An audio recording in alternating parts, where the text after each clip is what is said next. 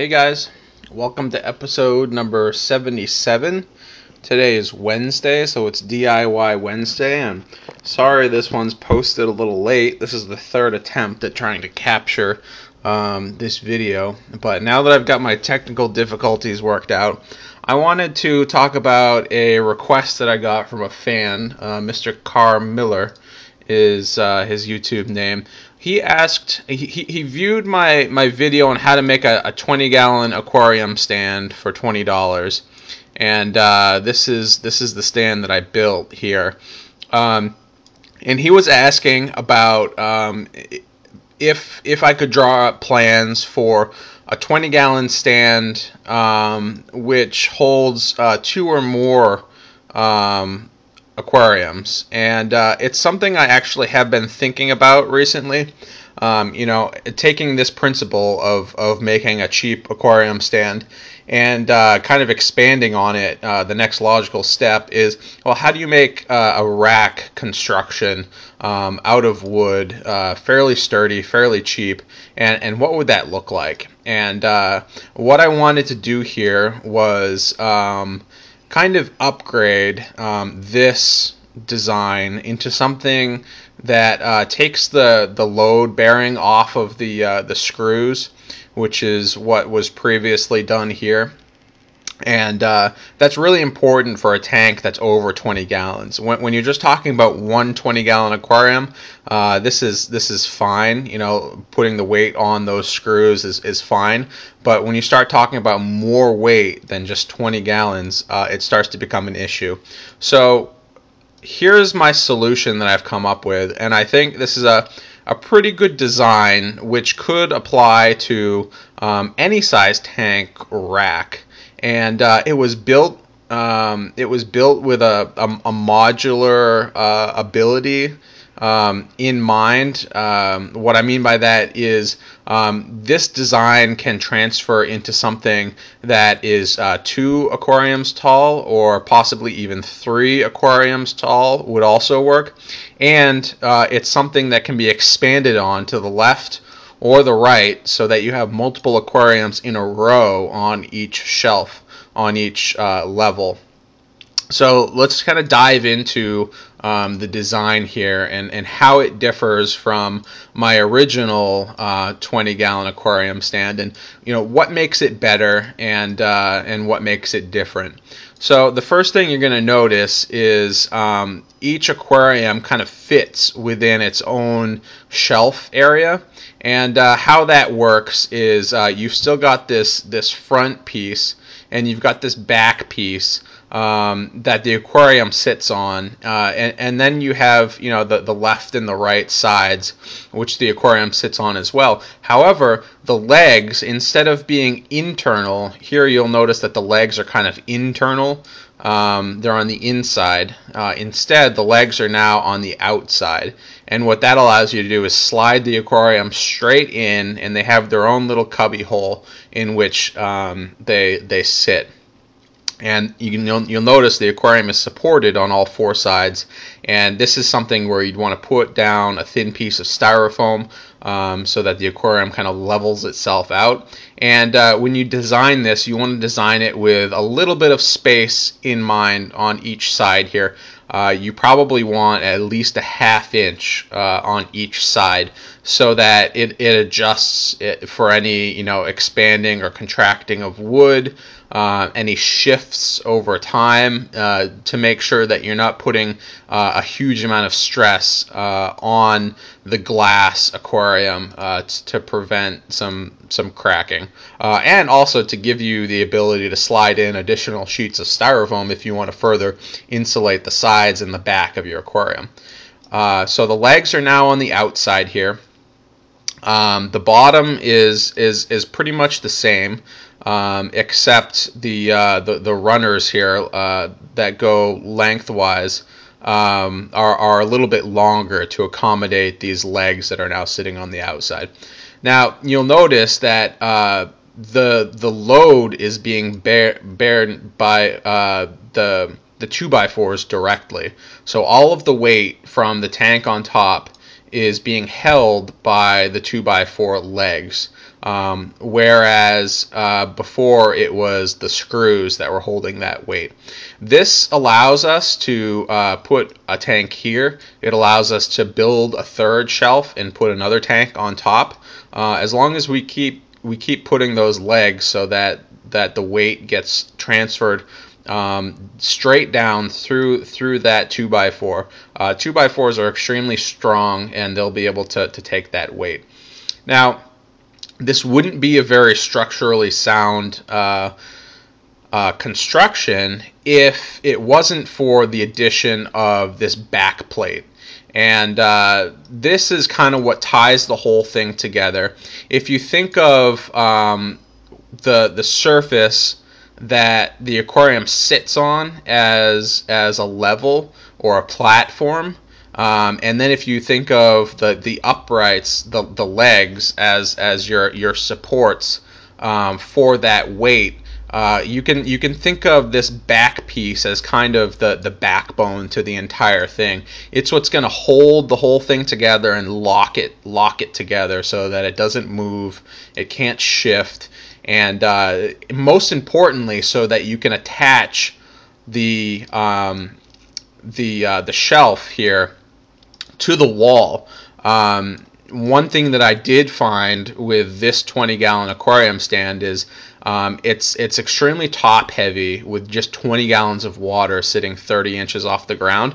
And so one thing that I did uh, to make up for that here is by saying um, this entire back plate would be tied to the wall itself. And that means that just like a bookshelf, uh, it won't be able to tip over. And that's really, really important when we start talking about safety.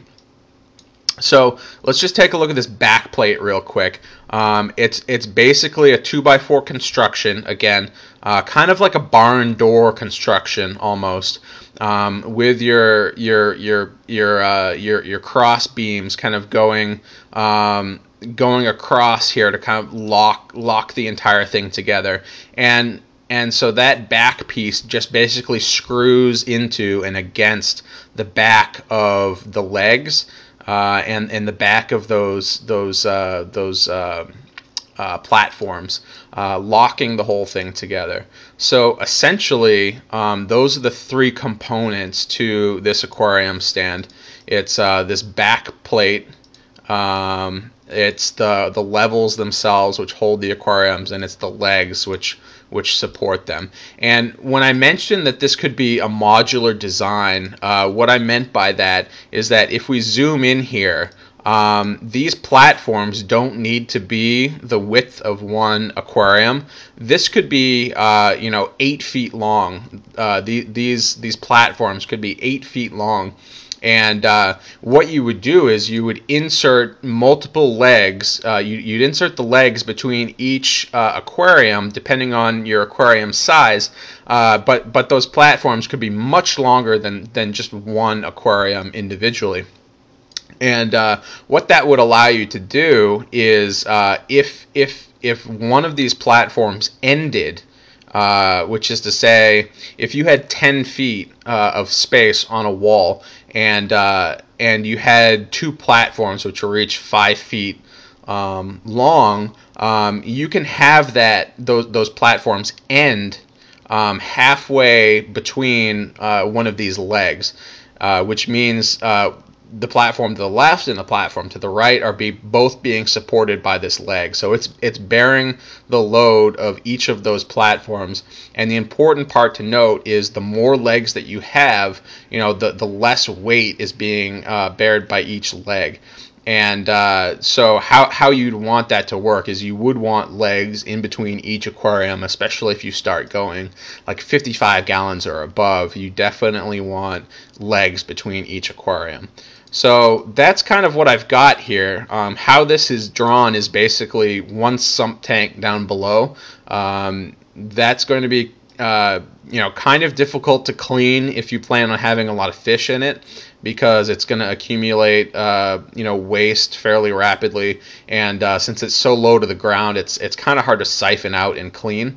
So I would I would typically recommend that being used as more of like a, a planted tank or a tank that has you know fry in it, some something that has less of a bio load, um, or just being used as, as a plain sump tank uh, because it is so low to the ground.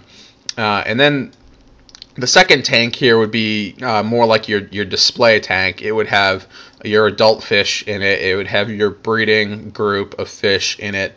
And uh, then if, if you had a third tank, uh, I didn't draw this out, but if you can imagine how this bottom section looks, um, you can just duplicate that one more time up here and then you can actually have a, a, third tank sit up top. And that could be again it could be a planted tank. Uh, it, again it could be a fry tank. It's it's probably going to be something that you're not going to want to access as often because you'll probably need a step stool to get to it. Uh, but it, it, could hold, um, you know, your your new uh, fresh water that could be dripping into your system. Uh, so, I mean, th- there are a few options for, for how you would use uh, multiple levels of tanks, and that's kind of up to you know what you're doing and uh, and, and your personal preference with, with your project. But um, definitely, the the value in this design is the ability to go uh, multiple tanks per per level to make this into a true modular rack construction and um, that's that would be my recommendation uh, if if if you went about doing this is uh, to make the most of it to to put more than one of these units together um, and, uh, and and make it into more of a, a, a true rack uh, construction. And uh, the biggest thing to remember here, guys, is to definitely secure something like this to the wall. If you don't secure it to the wall, it will tip over and it will hurt someone. Uh, so please remember that if, if you plan on, on using something like this. Again, I'm not a structural engineer. I hold no claims to you know the, the safety of this uh, construction. Uh, but uh, I will make it available in the comments again if, if you want to download it and, and play around with it.